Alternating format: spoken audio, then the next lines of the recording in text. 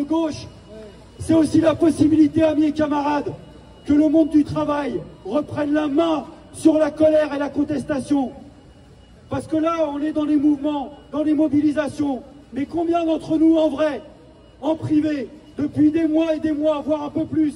envisagent comme une hypothèse politique le fait que le Rassemblement national arrive un jour au pouvoir en profitant de la colère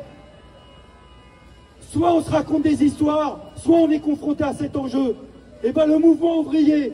dans toute son histoire, dans toute son histoire de lutte de classe, c'est dans des séquences comme celle-là qui peut reprendre historiquement la main, la main sur la contestation pour repartir à l'offensive par une mobilisation générale, par une bonne vieille grève générale dont on a besoin.